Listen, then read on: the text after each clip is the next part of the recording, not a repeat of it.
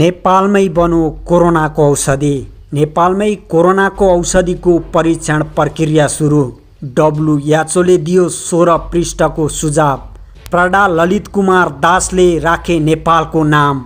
विश्वभर यो न्युज ध्यान दिएर सुन्नुहोस् र सक्दो सेयर गर्नुहोस्।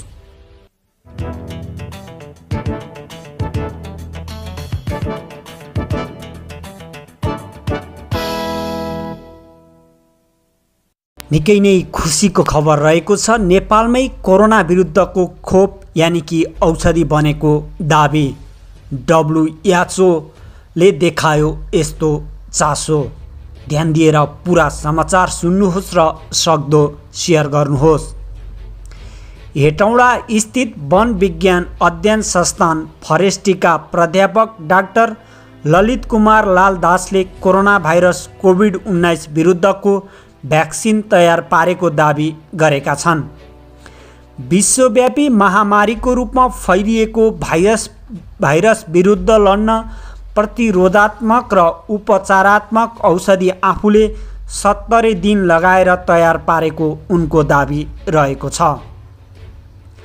शुक्रबार पत्रकार सम्मेलन गरेर उनले आफ्नो खोज र यसको प्रतिक्रियाबारे जानकारी दिँदै परीक्षणका लागि सम्बन्धित निकायलाई आग्रह गरेका हुन्। बोट बिरुवामा आधारित औषधि निकालेको भन्दै उनले डाक्टरबाट पनि यसबारे आफूलाई प्रतिक्रिया प्राप्त भइरहेको बताएका छन्। भाइरस निको हुने र मानिसमा रोग प्रतिरोध क्षमता बढाउने गरी दुई प्रकारको नमुना तयार बनाएको उनले बताएका छन्।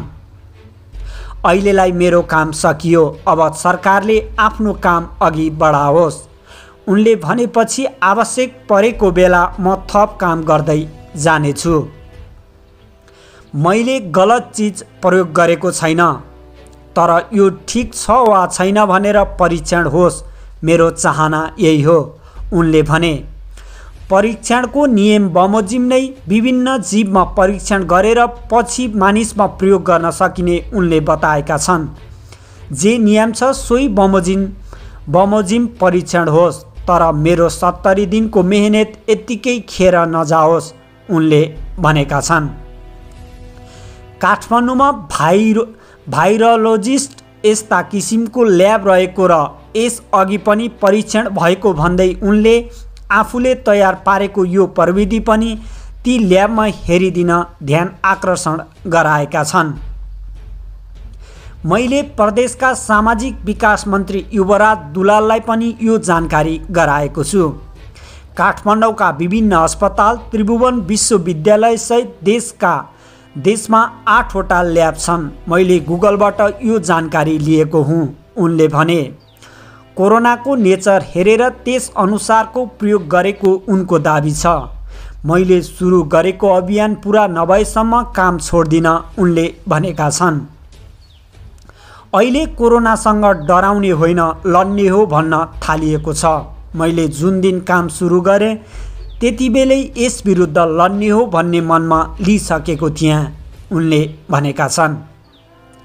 कोरोना विरुद्धको भ्याक्सिनमा डब्लुएचओको चासो। विश्व स्वास्थ्य सङ्गठन डब्लुएचओले कोरोना विरुद्धको भ्याक्सिनमा चासो देखाएको छ। हेटौँडा स्थित वन विज्ञान अध्ययन संस्थानको प्रयोगशालामा तयार पारिएको कोरोना विरुद्ध निर्माण भएको औषधि तथा प्रयोगशालाको सम्बन्धमा डब्लुएचओले चासो लिएको हो। त्रिभुवन विश्वविद्यालय अन्तर्गतको अध्ययन संस्थानका प्राध्यापक डाक्टर ललित कुमार दासले कोरोना विरुद्ध निर्माण गरेको दावी गरेको खोप तथा त्यसको उपयोगिता सम्बन्धमा डब्लुएचओले जानकारी लिएको छ। डब्लुएचओले भिडियो वार्तामा नेपालसहित त्रिहत्तर राष्ट्रसँग प्रत्यक्ष रूपमा कोरोना विरुद्ध निर्माण भइरहेको औषधि र आवश्यक सहयोग सम्बन्धी छलफल गरेको डाक्टर दासले जानकारी दिए। उक्त प्रयोगशालामा उत्पादन गरिएको औषधि सम्बन्धमा आवश्यक जानकारीका लागि संस्थानका प्राध्यापक दामोदर गैरेले डब्लुएचओमा लिखित प्रस्ताव पठाएको र उक्त प्रयोगशाला पनि छनौट भएपछि भिडियो सम्मेलनमा यसबारे छलफल भएको दासको दावी रहेको छ। यो एकदमै निकै नै खुसीको कुरा रहेको छ। नेपालमै कोरोनाको औषधि परीक्षण प्रक्रिया सुरु। डब्लुएचओले दियो सोह्र पृष्ठको यस्तो सुझाव। कोरोना भाइरस विरुद्ध औषधि तयार पारेको दावी गर्ने त्रिभुवन विश्वविद्यालय वन विज्ञान अध्ययन संस्थानका सहप्राडा ललित कुमार दासले प्रदेशको सामाजिक विकास मन्त्रालय मार्फत आफूले तयार पारेको औषधिको परीक्षण प्रक्रिया थालेका छन्। उनले बागमती प्रदेशका सामाजिक विकास मन्त्रीको संयोजनमा आजदेखि औषधिको औपचारिक तथा कानुनी परीक्षणको प्रक्रिया प्रारम्भ गरेका हुन्। औषधिका सम्बन्धमा मन्त्री युवराज दुलाल शरदले आज प्रदेशका विज्ञ तथा देशका प्र प्रतिष्ठित वैज्ञानिकसँग समेत छलफल गरेका थिए। छलफल पछि उक्त औषधिको औपचारिक परीक्षण प्रारम्भ गर्ने निर्णय भएको मन्त्री दुलालले जानकारी दिए। अब नेपाल स्वास्थ्य अनुसन्धान परिषद मार्फत औषधिको परीक्षण लगायतको काम हुन्छ उनले भने। डाक्टर दासलाई प्रदेश सरकारको साथ रहने तथा सरकारबाट सरकारका तर्फबाट सबै प्रकारको सहयोग रहने उनको भनाइरहेको छ। आफूले तयार पारेको औषधिले कोरोना भाइरस विरुद्ध पूर्ण रूपमा काम गर्ने जिकिर गर्ने डाक्टर दासका अनुसार उनले रोगको निदान गर्ने समूह र सङ्क्रमण हुन नदिने समूह गरी दुई भाग बनाई दुई भागमा नौ प्रकारका औषधि तयार पारेका छन्। सोमध्ये छ प्रकारका औषधिलाई सङ्क्रमण लाग्न नदिन सुईका रूपमा प्रयोग गर्न सकिने तथा तिन प्रकारका औषधिलाई सङ्क्रमणपछि उपचारका लागि र रोगको निदानका लागि प्रयोग गर्न सकिने उनले जानकारी दिए। आफूले कोरोना भाइरसको बनावट त्यसका रासायनिक तथा अन्य गुणको अध्ययन गरेको र विभिन्न पन्ध्र प्रकारका वनस्पति मार्फत त्यसलाई नष्ट गर्ने औषधि तयार पारेको उनको भनाइ छ। डाक्टर दासले उक्त औषधिले कोरोना भाइरसको पहिलो पत्रमा हुने बोसो तथा प्रोटिनलाई समेत टुक्र्याउने र भाइरसलाई निष्क्रिय बनाउने समेत बताएका छन्।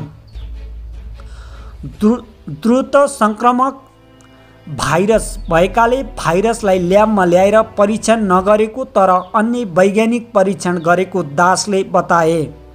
वर्षौँदेखि मानव जातिले विभिन्न तरिकामा प्रयोग गर्दै आएका वनस्पतिको प्रयोगबाट औषधि तयार भएकोले यसको प्रयोगबाट कुनै पनि प्रकारको रियाक्सन नहुने तर कसै कसैमा सामान्य खालको एलर्जीसम्म हुन सक्ने डाक्टर दासको भनाइरहेको छ। यस सम्बन्धी समाचार सार्वजनिक भएपछि नेपालमै कोरोना विरुद्ध औषधि पत्ता लागेको भन्दै देश विदेशमा ठुलो चर्चा चल्न थालेको थियो। बनारस विश्वविद्यालयबाट रसायनशास्त्रमा विद्या बारिदी गरेका डाक्टर दास त्रिभुवन विश्वविद्यालय वन विज्ञान अध्ययन संस्थान हेटौँडा क्याम्पसमा क्याम्पसमा प्राध्यापन गराउँछन्।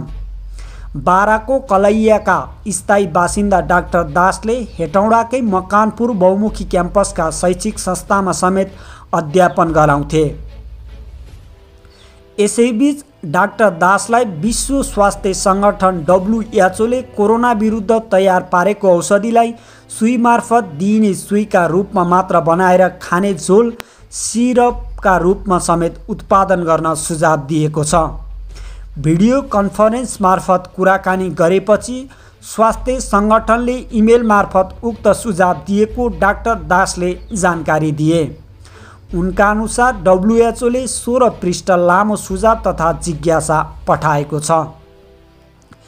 डाक्टर दासका सहयोगी अनुसन्धानकर्ता तथा संस्थानका प्राध्यापक वनस्पति शास्त्री दामोदर गैरेका अनुसार डब्लुएचओले सुई मार्फत औषधि दिँदा कतिपयलाई एलर्जी हुन सक्ने भएकाले खाने झोलका रूपमा तयार पार्न अनुरोध गरेको जानकारी दिए। गैरेका अनुसार डब्लुएचओले औषधिको कम्पोजिसनका बारेमा थाहा पाएपछि सकारात्मक प्रतिक्रिया दिएको छ। डब्लुएचओले हामीलाई आवश्यक परे कति परिमाणमा औषधि तयार पार्न सक्छौ भनेर समेत सोधेको छ उनले बताएका छन्। यो निकै नै खुसीको खबर रहेको थियो र एकदम सराहनीय काम रहेको थियो। नेपालमै कोरोनाको औषधि परीक्षण प्रक्रिया सुरु डब्लुएचओले दियो सोह्र पृष्ठको सुझाव। यस विषयमा तपाईँहरूलाई के कस्तो लाग्छ? नेपालीको योगदानलाई सहयोग गर्नको निम्ति यो न्युज सक्दो सेयर गर्नुहोस् र पुरै सुन्नुहोस्। खबर बुलेटिन टिभीलाई सब्सक्राइब गरी साथमा रहेको बेल आइकनलाई पनि थिचिदिनुहोस्। यहाँको पल शुभ बितोस्। शुभ पल शुभ समय।